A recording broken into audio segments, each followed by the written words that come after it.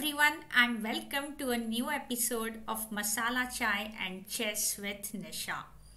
Today is the birthday of Sagar Shah. The name is enough, I guess. You know, as they tell in Hindi, sirf naam hi kafi hai. So I'm not going to give any introduction. Sagar is a good friend and more importantly, he's the better half of a very good friend, Amruta. And you know what? Together, they have a child, and the name of the child is Chessbase India. And Amruta and Sagar have together given the same kind of attention, love, care, dedication, devotion to Chessbase India as parents give to their children. And you know what? I really admire two qualities of Sagar. One is his amazing storytelling ability. That's really wonderful. And secondly, and more importantly, his passion for chess. And you know what? He can work hard to any extent. He can work hard without rest, without sleep, without food. And I think this is really, really amazing quality. And this is one quality I want to take you know, in me, this quality of Sagar. So here's wishing Sagar a very happy birthday. And you know what, Sagar? The nation wants to know how do you do it? How do you, you know, work so hard and not get tired? That's very important question. You know, Sagar is an international master and he has lots of fans in India, and all his fans want him to become a grandmaster and the reason is not that it makes any difference to the fans whether he's a whether he's an IM or a you know GM. I mean, they just idolize him. But in many uh, you know uh, YouTube channel, in his own YouTube channel, channel, in many videos, Sagar has mentioned that he wants to become a grandmaster. Not that it is going to make any difference to his life, but just for his self satisfaction and we all want him to achieve what he wants in life. So everyone wants him to become a grandmaster. So keeping this in mind, my today's video is going to focus on grandmaster. So basically, we have questions where do grandmasters go wrong? How do you know they go wrong at all? They are so strong. So through Sagar's games, we will see when grandmasters go wrong, we'll see moments where his stronger opponents made mistakes, where his grandmaster opponents made mistakes, and uh, why did they, uh, you know, go wrong? Why did they make mistake in that situation? And very importantly, I'm also going to show to all of you a few games from a very important tournament in Sagar's, uh, you know, I would say in Sagar's life, there was one tournament I think which must be very memorable for him. I'm going to show to you uh, some games from that and I'm sure this is going to bring a smile on Sagar's face. So let's get started. In this game, white is 18 year old Sagar Shah and black is Grandmaster Ziaur Rahman. This was played in the year 2008 in Kuala Lumpur. And this position it is black to play and black Ziaur Rahman is completely better here. You know, just uh, two points up in this position. Before we come to this position, I want to discuss the point which I was telling in the introduction that we have this question in our minds, right? I mean, I always have this question how to defeat my stronger uh, grandmaster opponent, and you know, where will he go wrong, and what should I do to make him go wrong? And for this, I would say that uh, tactics is very important. And as they say, chess is 99% tactics. We have to be very, very alert at the third hour of the game, fourth hour of the game, fifth hour of the game. It becomes very important to be alert tactically. And many a times, if someone gives us a position to solve, we are alert. We know this is the moment something is coming here. But in our own game, it's very important to know when to look for that moment. And we have to look for it every move. That is very very important. And we need to create some imbalance in a position at times. That's that is very important. That makes the opponent go wrong. Sometimes it is an attack to the enemy king. And if you go for an all-out attack it becomes very difficult for even very strong players to defend. So there are different factors. You have to put pressure on opponent so here in this position okay black is two points up. And uh, at this point it looks like uh, black's king is completely safe. So Zia thought okay he could just go queen f6 he played the move queen f6 here. And he thought okay he can just exchange the queens. Nothing really is happening. His king is super safe. He exchanges the queens and he is two pawns up. But what was wrong with this move find the winning move for white while I sip my masala chai.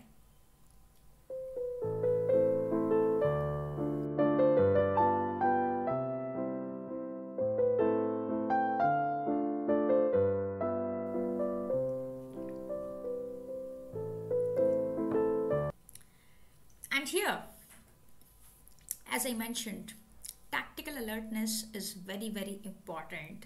Sagar found the move rook c8 check. Brilliant idea.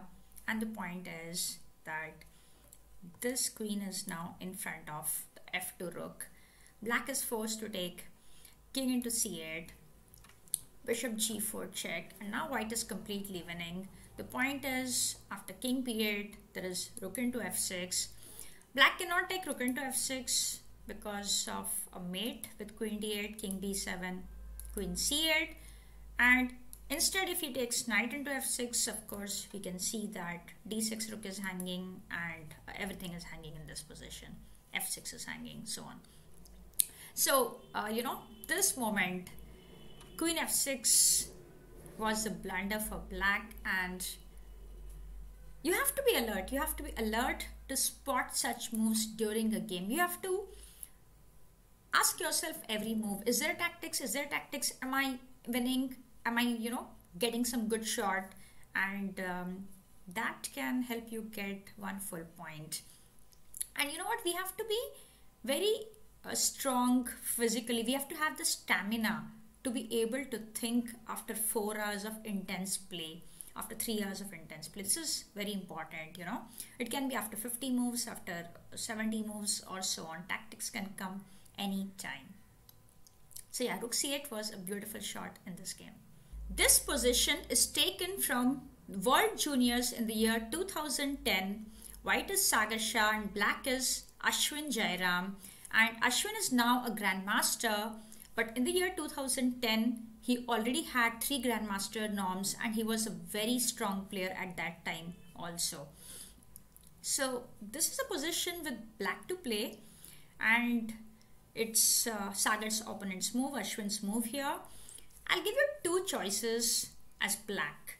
So suppose you're black here. Uh, it's a check, you can see that. So will you play the move king to g5 or the move king to h7? Which move will you choose here? I'll sip my masala chai.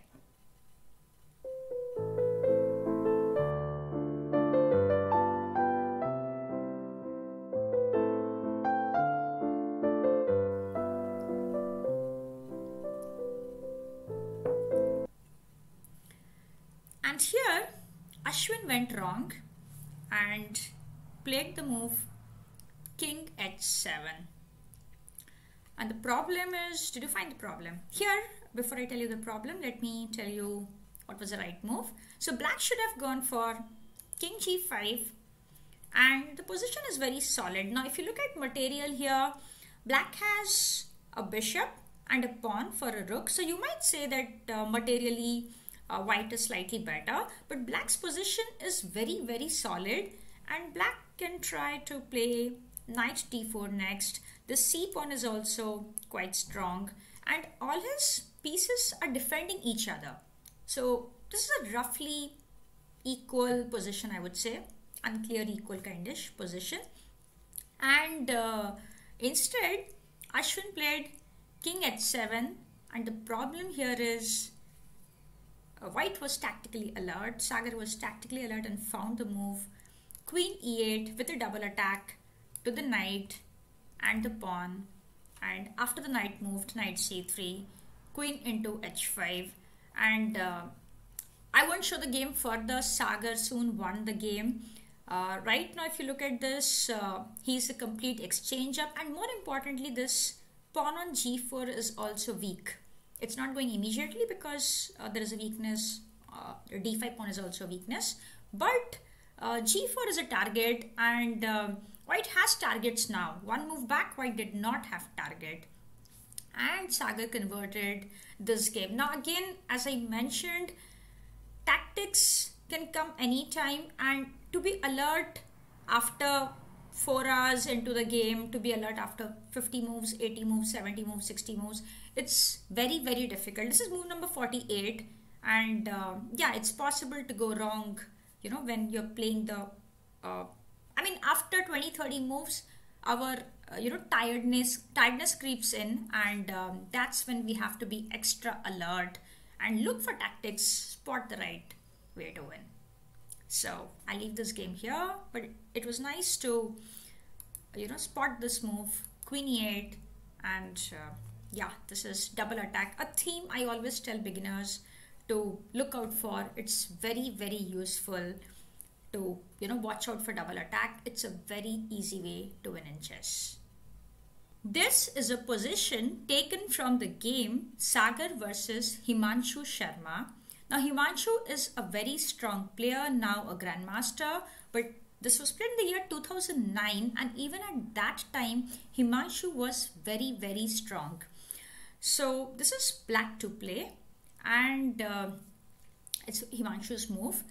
Very important is that Sagar has many a times mentioned about imbalance in many of his videos. So he also mentions uh, studying Silman's books on imbalance, some chapters or books on imbalance. And uh, in this position, if you look at it, the material is imbalanced, as in white has knight and two pawns for a rook. So we need to keep some imbalance in the position. It can be material wise or position wise and also it's always nice to get a chance to attack the king uh, here.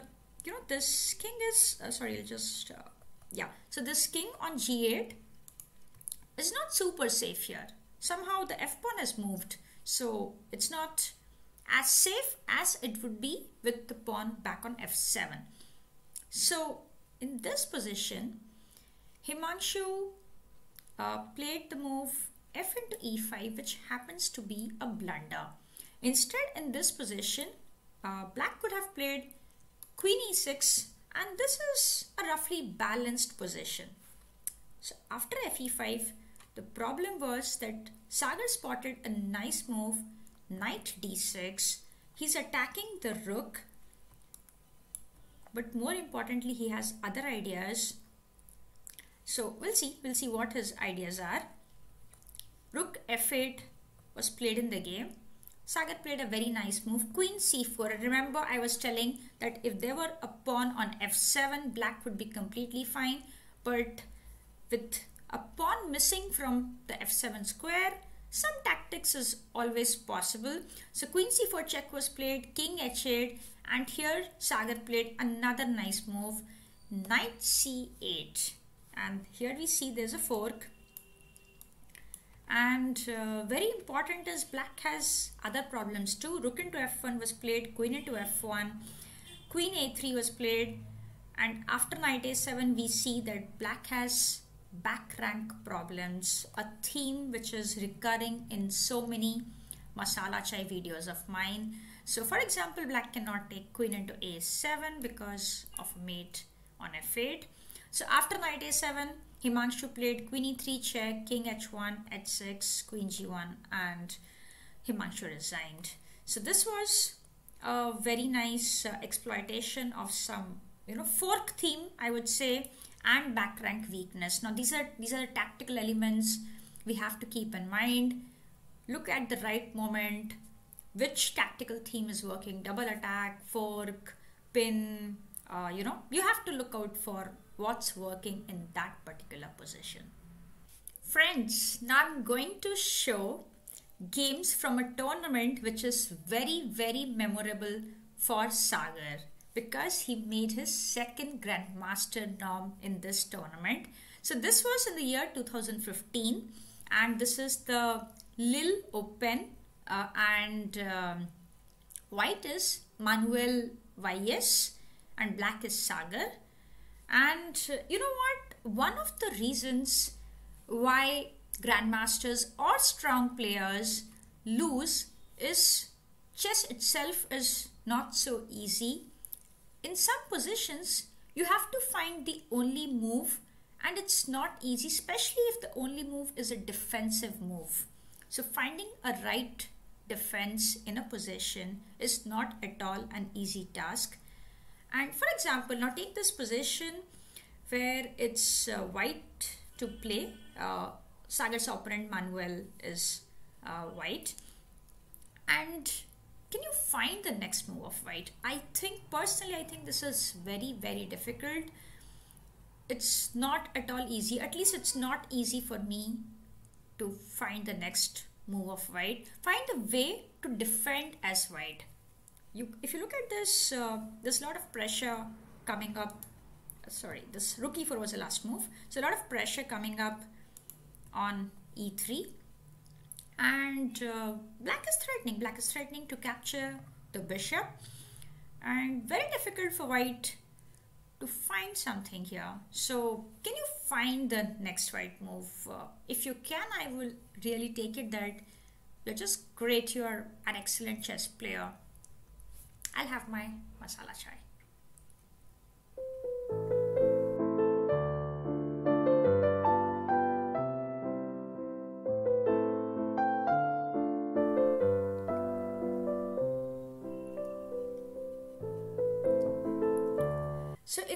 position, White, who's an international master, he played King d3, which happens to be a blunder. But before we come to this move, let's come to the right defense for White in this position.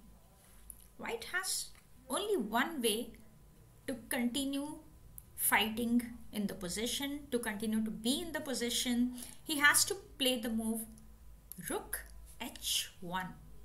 Now this is an amazing defense and I'll try to explain why rook h1. The point is that here if black plays the move rook into e3 check looks like just a bishop is going but here white has the move king f1 and the point is that this g2 rook is under attack e3 rook is under attack and this is the point of rook h1 h2 is supported king f1 uh, you know you needed that square to come back to.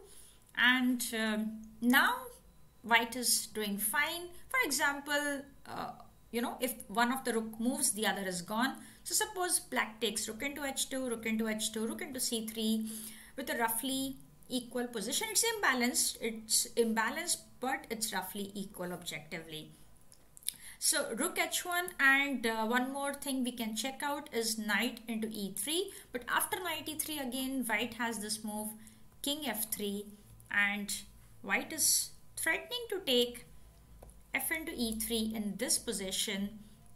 And the point is if the knight moves the g2 rook is gone. So for example if rook moves white just takes f into e3 again with a level position.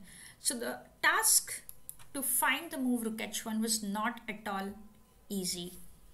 But sometimes you have to find just the one defense possible in the position. I think uh, black is still doing good uh, after rook h1 but white is in the game and that is important that white is still fighting and white can hold with stubborn defense. So coming back to the game after rook e4 white played the move king d3 this happens to be a blunder. Can you find the last move in the game made by sagar which sealed the victory for him? This is one of the you know few victories in this tournament which helped him get the grandmaster norm i mean he had a lot of draws with very very strong players but this was one of the uh, nice victories and uh, very important one for Sagar in this tournament. So if you want you can pause. I'm going to show the answer. Sagar played the final move of the game, rook into e3, check, and the point is that after f into e3, rook d2 is a mate. And of course, after rook e3, if you do not take, then uh, if you go back king c2, white, uh, black is just a piece up and is completely winning. So rook e3 uh, ended the game here and sealed the victory for Sagar. Nice pretty finish comes after fe3, rook d2. Nice mating pattern. This was from the same tournament, the very important tournament I mentioned, the Lille Open. White is Grandmaster Burmakin Vladimir and black is Sagar. And uh, if you look at this position, it's king pawn endgame. It's move number 36 now. Move number 35th move of black is over. Black last played f into e6. Again, you know, I'll answer this question as to where do grandmasters go wrong. So as I mentioned earlier, we have to play a long game with grandmasters. We should be ready to fight it out till the last and be very alert tactically. And even in the most innocent looking positions, tactics can come. You have to spot it if it comes, when it comes, when you get that opportunity. So, mm, also, very important thing we need energy. We need energy at you know towards the end of the game. It's very important. So here uh, white uh, burmakin played the move king e5 and this move happened to be the losing move. White could have played any other move but king e5 was the losing move here. And the point is that you want to spot? If you want to pause it here it's very nice. Black played the very alert move. A3 and the reason I think that white missed this idea is ba3 is a check. So probably uh, you know he just missed this idea. But the point is king c5 here. Very very good move. King c5 I mean instead you know try to understand this that if black goes king into a3 white just comes back king d4 and this is not winning for black. So instead king c5 is a winning move here. And the point is that after king f4 Sagar played the last good move of the game which sealed the victory for him. And the move was king d4 shouldering you're not allowing the white king to come to e3 which is very important. Black is guarding the square and now the c pawn cannot be stopped. White cannot come and stop the c pawn. So here Burmakin resigned and the point is if white goes king f3, black can simply play king d3 further shouldering and the c pawn is unstoppable in this position. It will just queen. So brilliant, uh, you know, alertness, I would say, in this game. And this gave Sagar a very, very important victory. I think uh, this game brought him closer to the second Grandmaster norm. And uh, yeah, very alert move a3, ba3, king c5. You have to be tactically alert even in pawn endgames. Very, very important lesson to learn from this game. King f4, king d4 and we see the shouldering principle beautifully displayed. The next game is really very pretty and um, this is from the same tournament where Sagar made his second Grandmaster norm, Lille Open in France. White is Henris Luc and black is Sagar and um, you know what I could have avoided showing this game because this game has been annotated by Sagar in Mega Database. And I think Sagar also made some video on it at some point. But uh, this game is so beautiful and today is Sagar's birthday. I couldn't finish the celebration without showing this beautiful game. So I decided to show it. And you know moreover my YouTube has now become a bookmark for me to remember the games which I want to you know see in future and this is one such very pretty game which I want to see uh, again and again. So let's see, I'll not uh, show too much of analysis, but we really should uh, have a look at this one. So, and also it shows what kind of play is required to make a grandmaster norm and this is very very inspiring so this is one of those important victories which helped sagar you know make the norm. So uh, white played e4 c6 Caro-Kann knight e2 d5 e5 d4 i'm skipping the opening part. I want to show you you know the main point. C3 was played here. This is a little bit uh, you know offbeat line uh, in Caro-Kann c3 c5 b4 and uh, d3 was played here. White played knight f4 black played c4 e6 okay it's all I mean we can analyze it for a long time but I'll just show some main points. Sagar played knight f6 in this position. And here came queen a4 so things have not gone perfectly for black I would say. And already black is in some difficulty. So here the problem is if black plays the natural move knight c6 white can go b5 attacking the knight knight moves and there is this b6 check. You come back knight c6 and c4 falls. And this is uh, really a difficult position for black because d3 is also going. This is falling. So in this position sagar made a very difficult decision. He decided to give away his knight. And he played the move knight b d7 this is um, yeah so difficult to make on the board, right? I mean, just giving away his knight. He had to make this difficult decision, and uh, probably he was not sure at this point whether, you know, he will survive the game. But let's see how the game went. White took e to d7. Sagar took bishop into d7. He's attacking the queen. So White thought, okay, let me exchange the queens. He played queen to a5. White thought if the queens are exchanged, he will be simply uh, you know piece up in this position if you look at this uh, black has just one pawn compensation for the lost piece. In this position Sagar decided he did not want to exchange the queens as he's down in material and he played the move queen to b8 so he moved away his queen.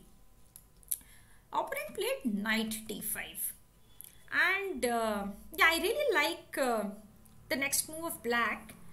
And it also reminds me of uh, one episode i showed where i showed my favorite victory and that was against soumya so there i mentioned that if we exchange the active pieces of opponent then what he's left with are the not so active pieces so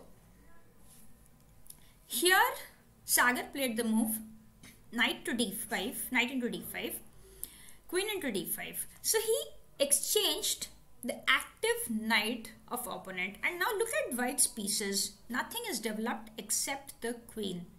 So it was a very similar situation in my Soumya game if you if you you know go to episode uh, I think 8 or something.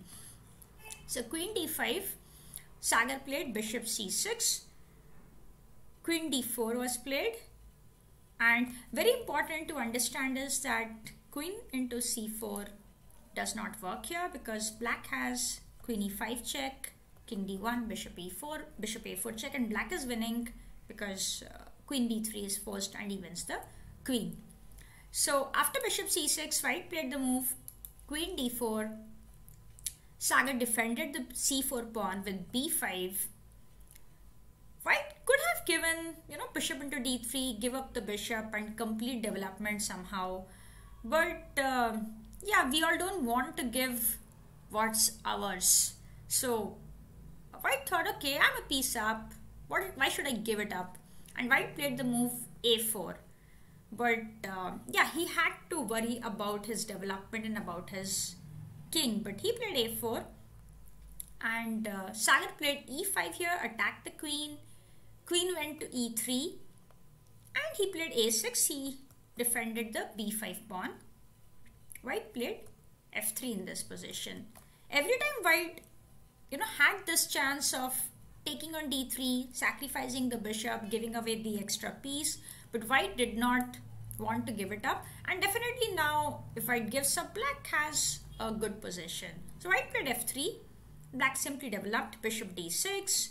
g3 was played. The f1 bishop has to come out. Castles bishop g2 and another very important moment Sagar played a very nice move here. Now I see this kind of maneuvers in uh, you know in different openings. Uh, we have this in when our bishop is not correctly placed in a diagonal we change the diagonal. So I mean I'm a Chigorin player. I've played that a couple of times you know, Ruy Lopez, uh, Ruy Lopez Chigorin. And there we have this maneuvering the bishop from d8 to b6. So Sagar played the move bishop to c7 and he wants to play bishop to b6 and uh, we see that white cannot castle in this position because uh, the queen will be lost with bishop b6 and very important is once the bishop comes to b6 it controls the you know huge long diagonal, it will be very difficult for white to decide what to do with his king once the bishop comes there. So white played the move a5 here and white stopped bishop b6. But look at white's pieces. Uh, look at the bishop on c1, knight on b1, rook on a1. And I always tell people that your pieces are like your family members. Now you cannot neglect anybody in your family so how can you neglect your pieces? So here, if you look at it, what's the future of the c1 bishop? It never ever comes out. This knight on b1, what's the future of the knight? I don't see anywhere it can go to. So uh, rook on a1 probably will be able to come out somehow, but bishop on c1, knight on b1 is really, really bad after a5. So white, white's move served one purpose of stopping bishop b6, but uh, the bishop and knight would really feel miserable sitting where they were. So, uh, Sagar played queen b7 and very important is, you know, what is his idea? Let's see. Let's see after the next move. White played castles here and Sagar said, okay, you didn't allow me what I wanted to do, but I will still do it. He played bishop to b8 and he wants to bring his bishop to a7, he still wants to occupy this diagonal. Remember, black is a full piece down here. He has just one pawn as compensation. It's not really enough. But, I mean, not really enough as in in general. But in this position, this is out of play, this is out of play, this is also out of play for the time being. So after bishop e8, white played king h1, because bishop a7 was coming. Black played bishop a7, queen g5 was played here, moved away the queen. Sagar played e4, very nice move. And the point is, of course, that all captures are not possible. So if white takes here, black takes. Uh, white even gets checkmated in this. So yeah, rook f3, queen f3. So after e4, white thought, okay, I need to do something about my f3 pawn. So white played queen f4. Sagar played rook a8. Look at black. He's playing with all his pieces. And look at white. Three pieces not in the game. White played knight a3. Finally developed the knight. But it's too late. Black played bishop to b8 here. Attacked the queen.